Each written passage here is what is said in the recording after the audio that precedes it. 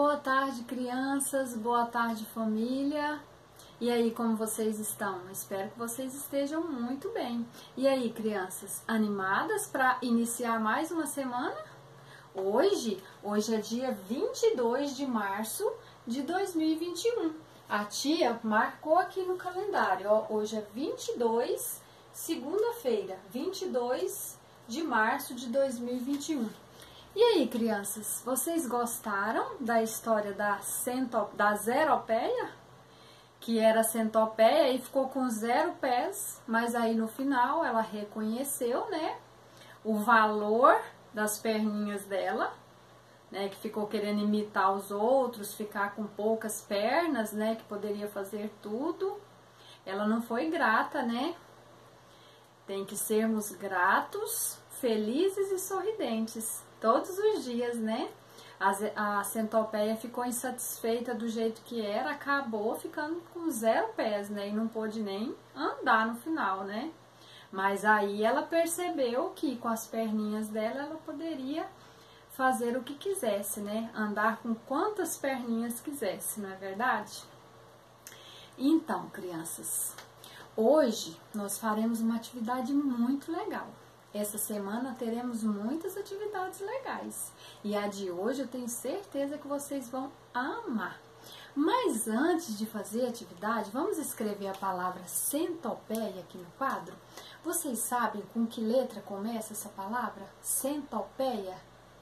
Isso mesmo, letra C. C.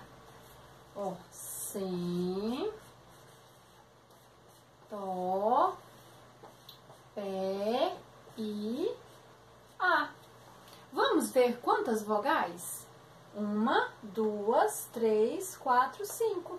A vogal é, a vogal O, a vogal E novamente, a vogal I e a vogal A. Então, ó, nós temos a consoante C, N, T, P e as vogais E, O, E, I, A. A tia agora vai fazer a leitura de um poema para vocês, para depois explicar a atividade, combinado? Era uma vez um bichinho diferente. Ele era muito esperto e também inteligente. Tinha 26 patinhas, cada qual com uma letrinha. E por onde ele passava, nascia uma palavrinha. O nome dele eu não sabia. Ainda bem que descobri.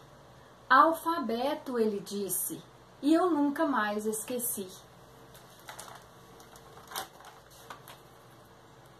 Aqui nós temos as letrinhas do alfabeto na centopeia.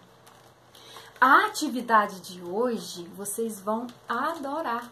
Vocês vão pedir a mamãe ou alguém que estiver com vocês para escrever os números assim numa folha e fazer a carinha da centopeia. Aí vocês vão pegar cores variadas de tintas que vocês tiverem aí e vai colocar o dedinho lá na tinta e vai fazendo o corpinho da centopeia de acordo com o número que tiver aqui. Se aqui tem um, eu vou pôr uma vez o dedinho, uma bolinha. Se aqui tem dois, eu vou fazer duas bolinhas, vou pôr o dedinho duas vezes. Aí eu posso fazer uma centopeia bem colorida, bem linda. Combinado? Não esqueça de tirar a foto e enviar para mim, tá? Eu quero receber a sua tarefa. Combinado? Então tá, faça sua atividade com muito capricho, tá bom? Um beijão para você!